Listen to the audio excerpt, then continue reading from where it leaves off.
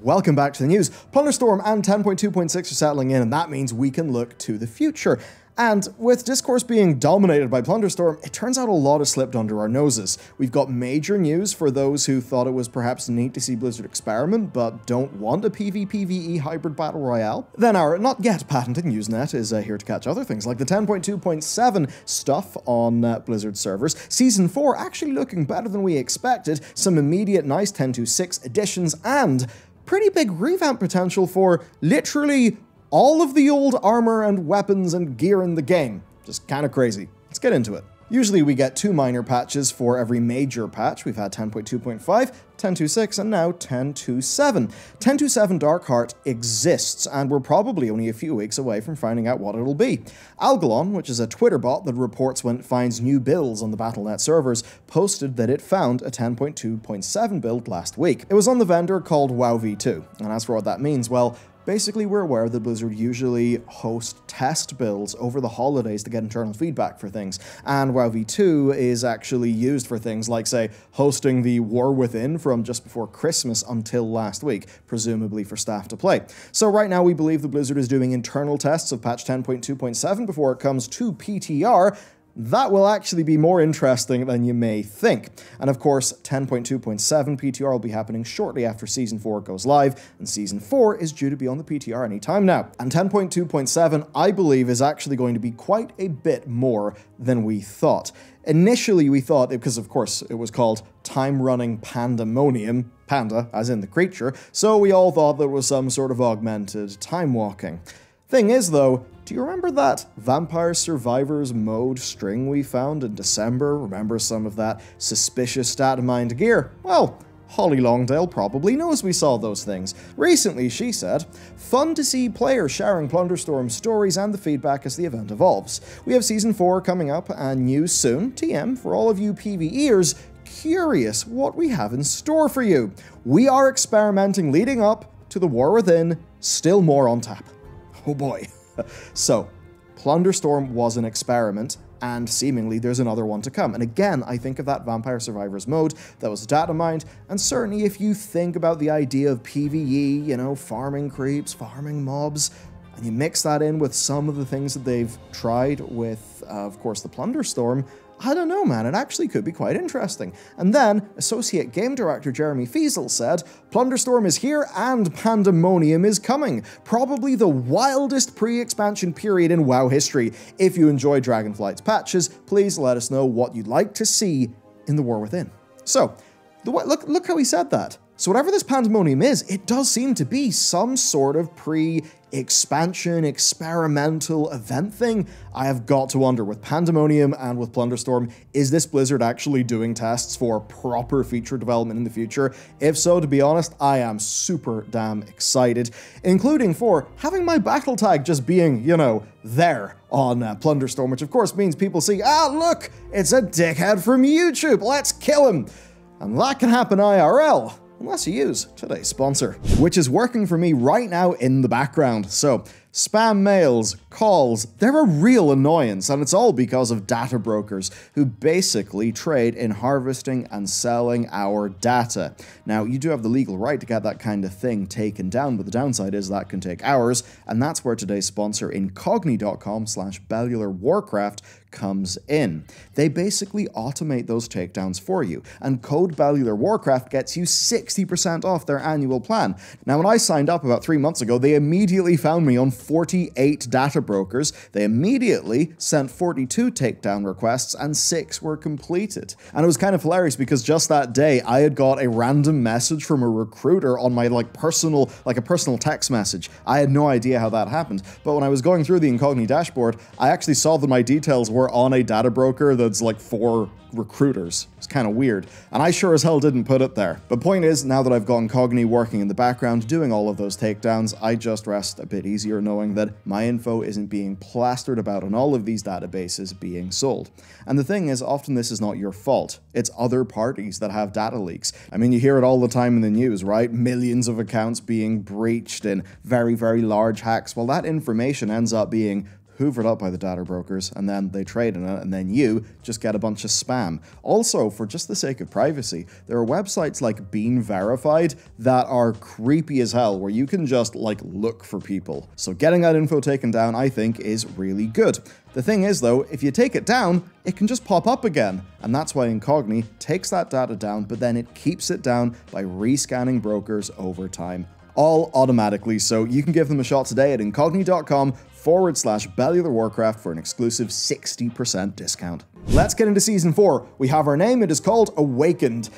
And we've got a stack of wins and maybe one or two controversies. First, and probably the bad news for some, legendaries will be relevant in Season 4. There are two legendary items in the data, both are called Scale of Awakening, and they're used to upgrade Nasz'uro and Fyr'alath to eye level 502 and enable higher upgrades. We've got no clue how to get them, but I would certainly hope the Blizzard have learned lessons from Seasons 2 and 3, and maybe there's less RNG. Maybe there's less of a massive gold buy-in, and uh, this can kind of just be a fun thing for people to play with, because it does seem there's a lot of negative player feedback and that kind of stuff.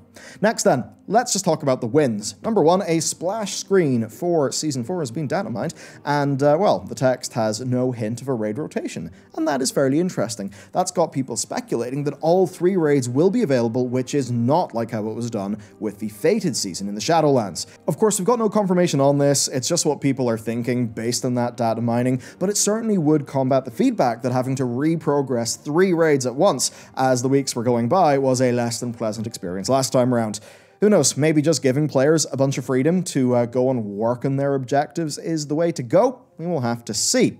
What is next, though, is dinars that is the news. I have nothing more to say about it because they're data mined, but we don't really know anything else. So it's a dinar, uh, just like Ian said, you know, there would be something like that. So yeah, hopefully with this you'll be able to, you know, pick some items after you've done some raids and just get them. Again, we don't really know how they're actually going to implement this, but whatever they do, I think will be telling us to the future. Next, dungeons. So originally, I think a lot of people thought it was bad news that we were getting the eight original Dragonflight dungeons, but remember, well, the Thundering seasonal affix in Season 1 kind of blew, and they're not doing seasonal affixes anymore. Also, affixes have generally been thoroughly defanged all expansion, and remember the whole revamp of how dungeon difficulty and rewards work?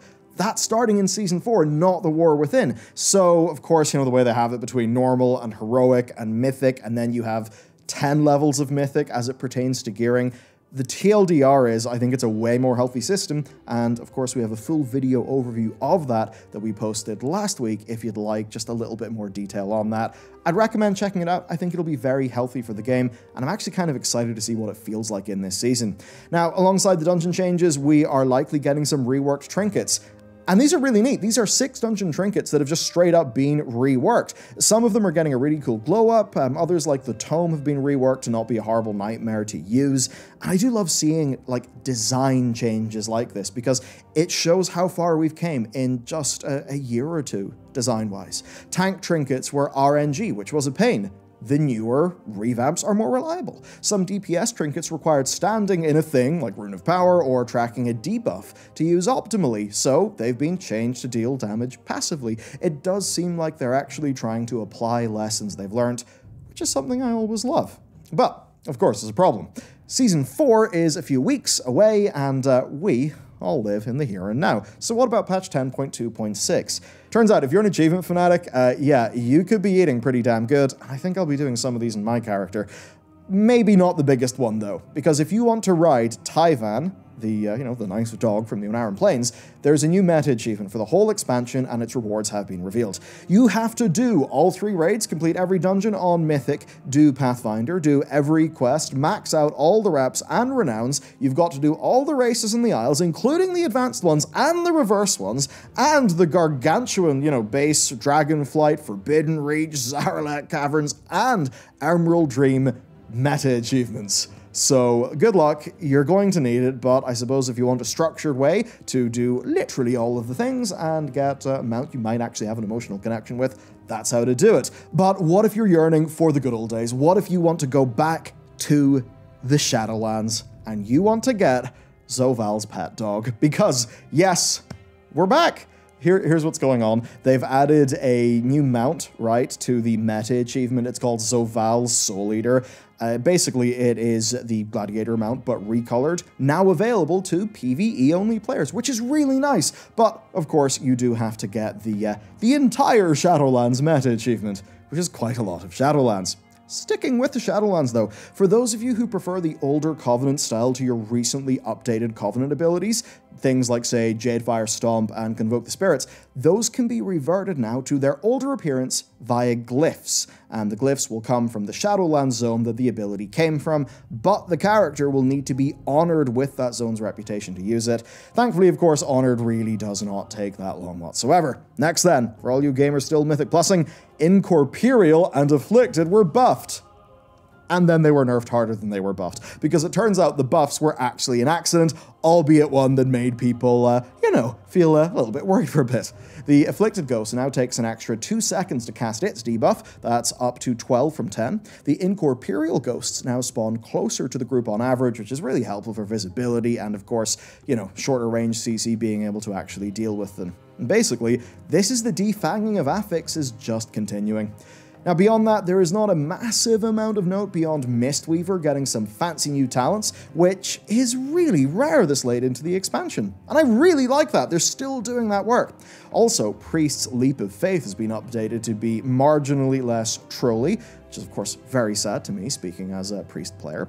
Um, but it will be more useful because it will not interrupt whatever the target is casting, so that's neat. And also, a bunch of new shirts and items were added to the Trial of Style vendor, but the Trial of Style only lasts for four days. Uh, it actually just ended. If you want the next one, you'll have to wait till the 31st of August. Yeah, that's uh, that's a bit weird. There needs to be more of them. Next, then, this is really interesting and it's out of left field. So, we saw this up-resed graphics option in Cataclysm Classic. When you clicked it, nothing happened, and there was a lot of speculation until just now, because Marlamin, esteemed and somewhat retired data miner of Legend, showed off a bunch of textures that were found in the most recent Cataclysm beta build. And lo and behold, we have upscaled textures. And I know you might be thinking of the Grand Theft Auto remaster or of any game remasters that have just really not worked. In this case, while things aren't perfect, I am very impressed by the quality of these. And some of these before comparisons here, they aren't old Cataclysm, by the way. They are from 10.0, so Dragonflight. It basically seems like the classic team are trying what looks like some sort of AI upscaling on some older game textures, Per Marlamin, there are too many checks if uh, they're all upscaled or if they're actually just restored from a higher resolution original that like the artist literally made before it's compressed for the game. Um, so who knows? It's not actually available in-game for testing, so any previews of this that you see will be unlit, and obviously, you know, the lighting really does make it when it comes to a lot of this stuff. But I've got to say, I really was impressed. And who knows, if this is a success in the Cataclysm beta, I mean, if it's just a bunch of assets, and it's easy to put those assets into our game client, could that be something we could get in modern? I mean, for a lot of people, there are so many older sets in the game that just are, you know, they're iconic. And you don't really want a remaster of them because you want to retain the original character, but maybe you just don't want it to look super, you know, smeary and blurry. I mean, if so, I think this could make for some really cool mogs if they do it right. And I know, of course, like hearing the AI buzzword, that might be, uh, you know, spooky to some. Th this is one of those things, the upscaling, where I actually do think that's a, a, really reasonable use of that tech. I mean, similar things, I mean, hey, think about like DLSS and FSR and all of those things that are actually really useful, you know, day-to-day -day tools of machine learning. Uh, so anyway, I think some of these comparisons could be gorgeous. And really, the clincher here is the thing that's retained the, the whole period as WoW's art direction, the solid lighting, the proportions of the models, and that's always been the thing. Warcraft 3, in some technical aspects, didn't look amazing for its day, but it had the Blizzard art style, it had the chunky proportions, and that's what people loved. So, with a lot of that solved, the already beautiful classic, I think, might actually just look more beautiful.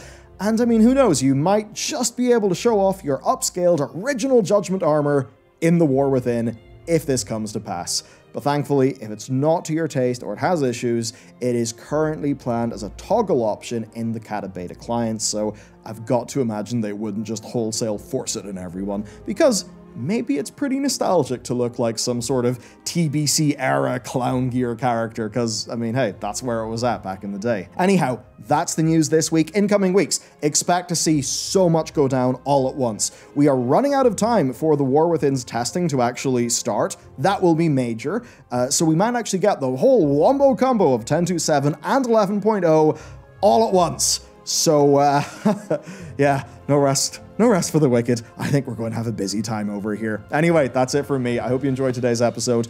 Let me know what you think Pandamonium could be, and I suppose based on Plunderstorm, like, what do you what do you think they could do? If they're just having fun and making weird game jam things in the WoW engine, what what do you think they should do? Is there a game you really enjoyed you actually think could map onto that? I would love to hear, and I'm sure they would love to hear as well. Okay, hope you have a brilliant day. Thank you for tuning in, and we'll see you again soon.